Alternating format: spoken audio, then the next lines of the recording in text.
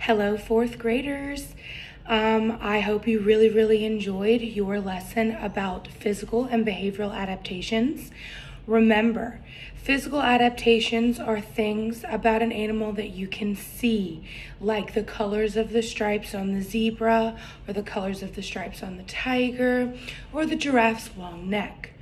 The behavioral adaptations are things that an animal does, like a bear hibernating or a baby crying. Now this, this is Yoda.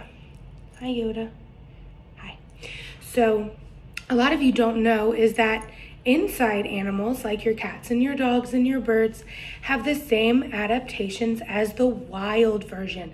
So Yoda is a tiger Persian cat and he is a descendant from the big large cats that you see on TV and in movies. So tigers, panthers, jaguars, lions, they have the same um, adaptations inside of them as the big cats would, and I'm going to show you some of those.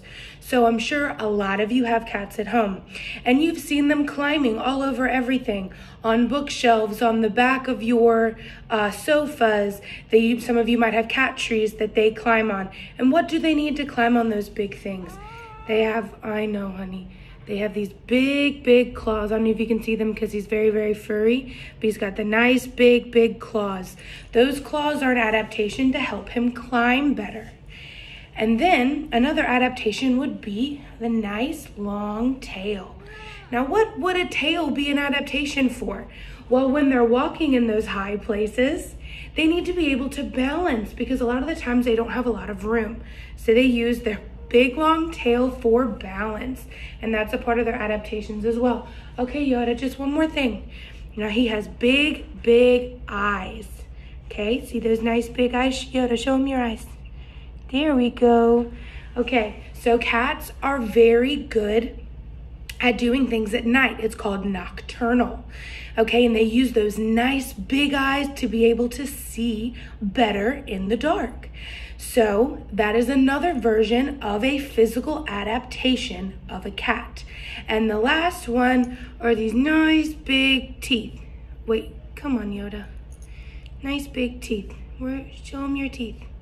He doesn't want to. But as you know, cats have nice, nice big pointy teeth, and they use that to be able to eat and tear apart their food. In the wild, as you know, most of the big tigers and lions, they eat mostly meat, and they need those nice big teeth to be able to tear the food apart. So like I've shown you, the tail, the teeth, the eyes, the claws, all of those things are physical adaptations.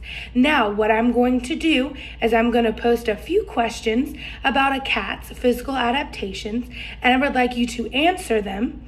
If you get confused or you have any questions, just look back at this video. All of the clues and answers will be on here. Have a great rest of your day, guys. See you later on Zoom.